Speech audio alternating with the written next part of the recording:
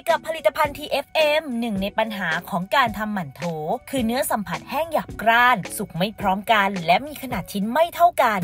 วันนี้เรามีเทคนิคการทำหมั่นโถมาฝากค่ะ เพื่อให้ได้เนื้อหมั่นโถที่เนียนนุ่ม สีขาวสะอาด เนื้อสัมผัสฟูเบา สุกพร้อมกันทุกชิ้น โดยแป้งที่เราเลือกใช้ คือแป้งสาลีชนิดพิเศษราโบหิมะ ตัวช่วยสำคัญที่ทำให้หมั่นโถมีเนื้อสัมผัสแป้งละเอียด เนียนไม่หยาบกร้าน และวันนี้เรามีตัวอย่างการทำหมั่นโถรูปลูกชิ้นกับสังขยาใบเตยมาฝากด้วยค่ะ ใส่แป้งสาลีชนิดพิเศษราโบหิมะ ตามด้วยยีสต์แห้งสำเร็จรูปสำหรับทำขนมปังจืด เกลือป่นเสริมไอโอดีน ผงฟู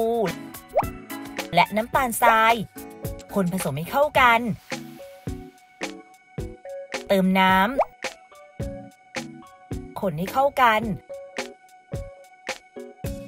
ใส่เนยขาว นวดต่อจนก้อนโดเนียน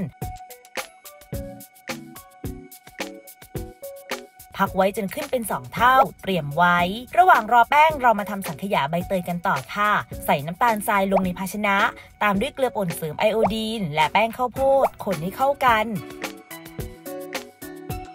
เติมนมข้นจืดและน้ำใบเตยเข้มข้น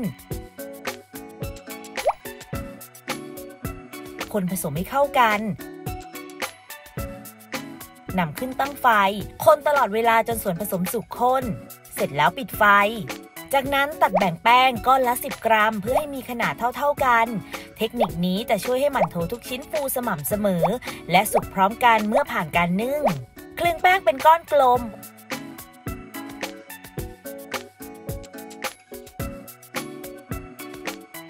วางหมั่นโถลงในรังถึง นึ่งในน้ำเดือดประมาณ 7 นาที หรือจนกระทั่งสุกนำออกมาพักบนตะแกรงนำหมั่นโถเสียบไม้ปลายแหลมไม้ละ 3 ลูก